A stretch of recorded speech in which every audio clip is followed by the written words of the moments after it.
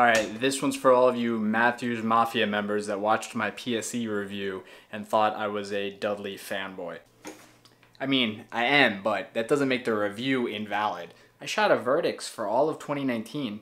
It's like that means nothing to you people. You Mathews shooters, you guys are so on brand. At the ATA show, I actually saw Chris Be Real return his salad because the lettuce was an ambush green. True story.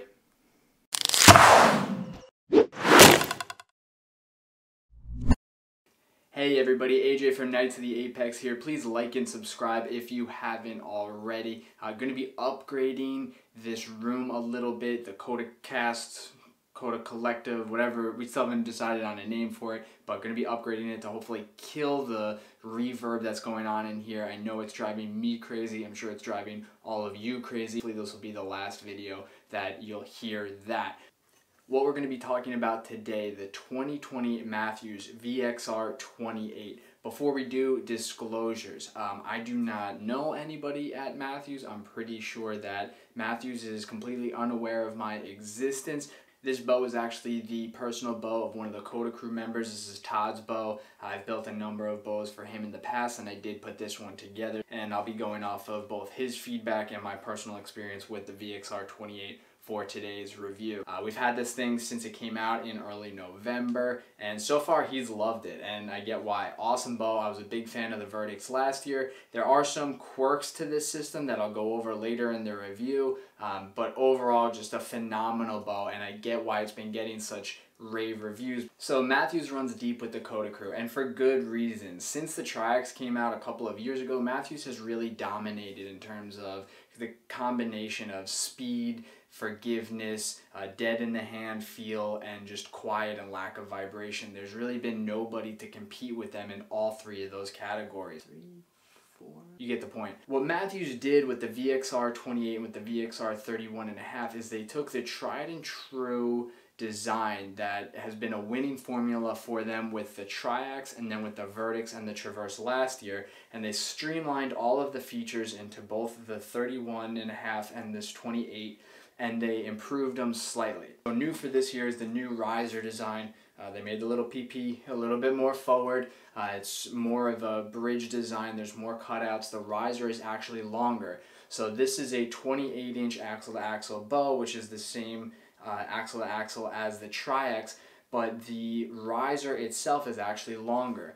That gives you a much more, I shouldn't say much more, that gives you a slightly more stable feel at full draw. What most shooters will compare the 28 to is how the Vertix felt last year, which was a 30 and a half inch axle to axle bow. And what you'll find with the 31 and a half inch axle to axle bow is it shoots very similar to the Traverse. So slight improvement. It definitely looks cool. This new ambush green is just one of the most badass colors on the market right now. I think it looks just absolutely phenomenal and they did a great job. There was nothing wrong with these bows the last two years, but they've just made slight refinements. The cross-centric cams with switch weight technology, forward 3D harmonic dampener, and um, the integrate rest mount all carry over from last year's models or, or years previous, as does the Engage grip. This is actually a modified Engage grip. This is an aftermarket grip from our buddy uh, Rob over at Rattler Grips. Of course, he made one with a custom KOTA logo. Uh, the big difference here versus the standard Engage grip is Rob removed the front flare of the grip. This was actually a design feature that a lot of target archers had been requesting. I know that when I was shooting a Vertix, I found that I would always want a higher purchase on the bow and my front finger would creep up and it was a little uncomfortable because on the standard grip, there's a wider flare in the front here. Rob removed that, allowing you to get higher on the grip. Of course, if you're shooting broadheads, keep that in mind, right? You don't want to take your knuckle off, uh, but super comfortable design there. Otherwise, aside from the color options which he gives you, uh, pretty much the standard Engage grip. New for this year is the massively overpriced Silent Connect system. What this is, is actually a, it's basically a dowel um, that connects, it screws in in between your two uh, limbs and what that allows you to do is take your equally overpriced Mathews branded power cord, loop it between the limbs and onto this dowel. And now you can hoist your bow into your tree stand um, and have an extra $70 attached to the price tag. I will now show you how you can have your own Silent Connect system on virtually any bow. Simply tie a paracord loop, run it down between your limbs, take that loop and put it over your stabilizer, and hoist. Now, objectively speaking, there's no denying that this bow is absolutely awesome. I mean, Mathews has been dominating in terms of speed, vibration, quietness, uh, just overall shootability the last couple of years. Anytime somebody picks up a Mathews for the first time and shoots one, almost everyone has the same reaction. They go, whoa. It just is unlike anything most of us have ever shot before. There's nothing else on the market still to this day that is as quiet, uh, that is as dead in your hand and just has as little vibration, but with this speed that this bow does. And I'll list the full list of specs below in the description for you to check out. Um, this bow's been out for a couple months, so I assume most of you are already familiar with them. Now, having said all of that, this bow is not without its quirks. Now, they've improved upon a lot of those in recent years, but there's still some things that you should be aware of just to take into account. Most of the things I'm about to talk about are going to be subjective, right? It's going to be based on user preference. You may find that the things I'm about to lay out are some of the very features that you like about the bow, and that's fine to each their own. Um, what you'll find and you'll hear me say over and over again, biggest difference is going to come in the character of the bow and the character of the shooter and finding the right partnership between both. There are no bad flagship bows on the market, at least not from the major manufacturers. Which one is right for you and which one is the best purchase is just going to come down to what draws the most potential out of you as the shooter. The first thing, the strings.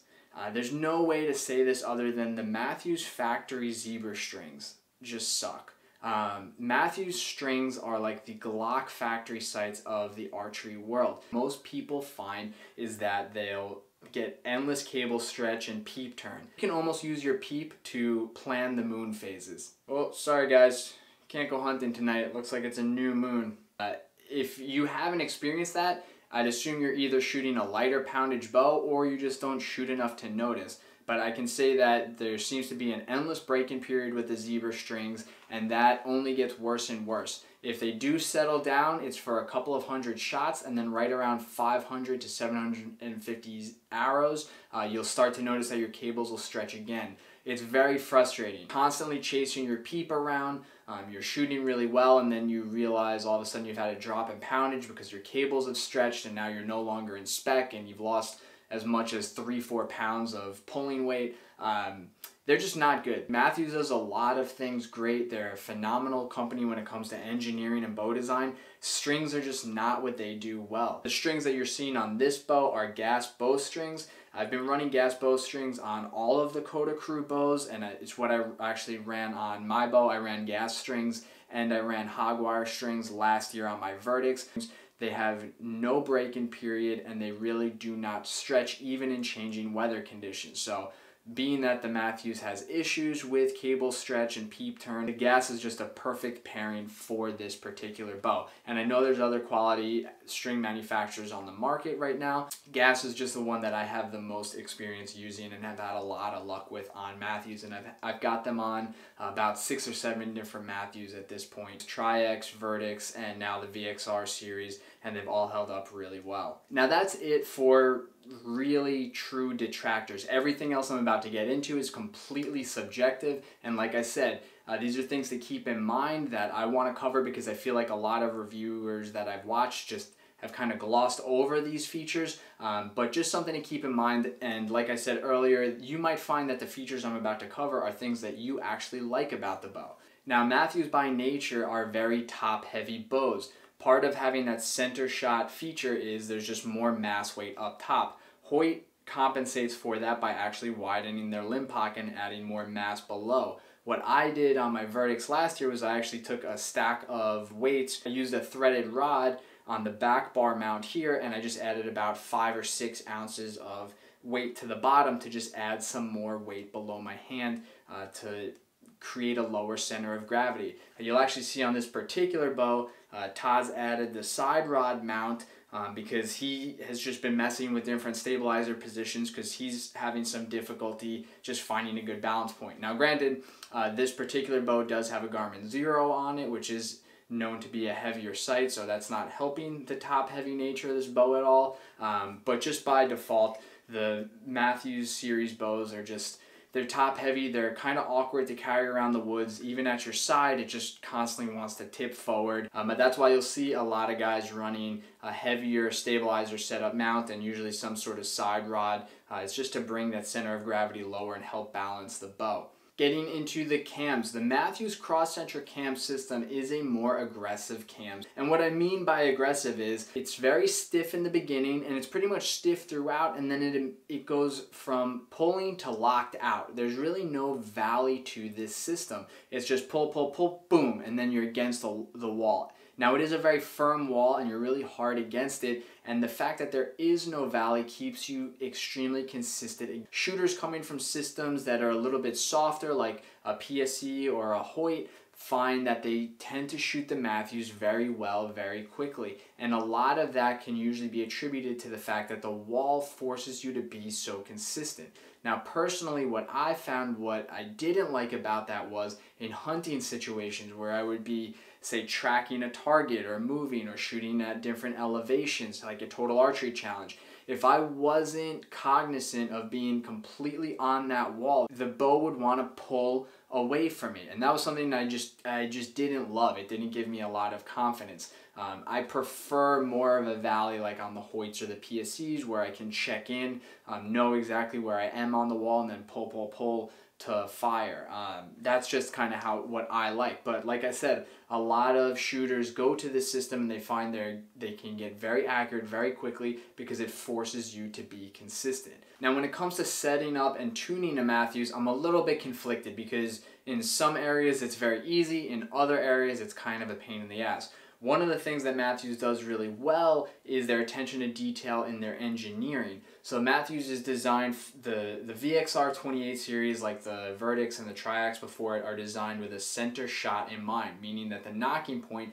should place the nock of the arrow directly in between the two axles so that the arrow fires through the middle of the riser. When you set up your bow that way, and you use the Mathews Integrate Ultra Rests from QAD, there's a little notch on the riser that corresponds with the zero hash mark on the Integrate Rest. Set just like that, you're probably going to find that you don't have to change that elevation when it comes time to paper tune. So one of the things I don't like is when it comes time to swap out strings and cables, to change those cables because of the way that it's set up, this loop over the axle, you have to actually remove the axle to remove uh, these split cables right here. Mathews makes that as easy as possible. Uh, their axles are actually held in place by Allen screws, so you just need two Allen screws and you can loosen that up and take slide the axle right out. Um, so it's as easy as it can possibly be, but still a little bit of pain in the ass to have to remove the axles and also the top hat design. So you might be able to see on camera, but the two spacers in there. Uh, those are the Mathews top hats. They call them top hats because those spacers are actually connected to sleeves that run inside the limbs. When you take them out, they look like uh, like Abraham Lincoln's hat. That's why they're called top hats. One side is uh, thicker than the other, so which allows you to shim the cams one way or another. Now, when this came out, this was a, seen as a very revolutionary and ingenious design uh, technology's moved a little bit since then, but it's still pretty good. What I found on most Mathews is that I do have to swap out. Usually the bottom top hats uh, will set me straight. What I'll usually find with Triax, Vertix, Traverse, uh, and now the VXR28 that I've set up, um, all of those out of the factory, I would have a hard left or right tear. If I would just take out the bottom top hats and swap those, it would immediately take out that tear, a little bit of fine tuning with the rest, and I was good to go. You know, the thing with the top hat system that some people have complained about is that you're either this way or that way, but you don't have a lot of adjustment. In all fairness, I don't know how much I would worry about that because, like I said, I, have yet to have an issue where swapping out just one of the top hats and using the rest didn't tune the bow. Uh, perfectly well. But that really covers all of my complaints or gripes about the bow and the Mathews system. And like I said, it's really not that much. And when you take into account all of the positives that this bow has going for it, I don't know if I would call it the best bow ever. Um, I'm not even sure I would call it the best bow of 2020, but it's definitely up there. It's for sure a contender, and I think it's probably the bow that all other bows are probably judged against the most. And quite frankly, it's earned that position. Mathews has really earned that over the last couple years. If you're in the market for a new bow and you are looking at the VXR 28 or 31,